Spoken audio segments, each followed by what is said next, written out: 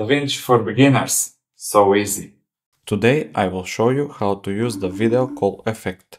So let's get started.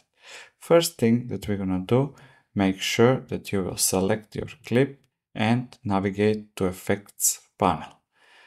Over here, choose the effects and type video. The first thing that will pop up on the left side is our effect. Just drag and drop it. And there we go. This is the effect. On the right side in the effects panel, we can customize it. So first thing, we can change the background to any color that we like. The next thing is the button. We can customize it as well.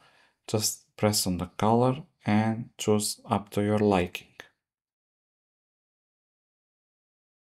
And the last thing that we can change is the shadow to give us depth effect. You can change the strength, angle, the distance of the shadow. So thank you so much for watching this and if you like this type of content, please subscribe to my channel.